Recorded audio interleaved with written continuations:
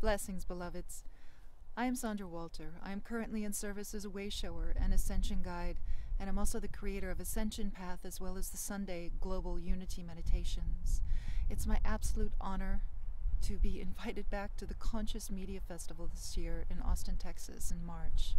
I'm very excited because I feel that this festival is actually representing unity consciousness in action not just the topics and the New Earth creations, but on Sunday I'm going to be facilitating a New Earth experience where all of the participants, all the attendees, are actually going to co create together in this New Earth consciousness.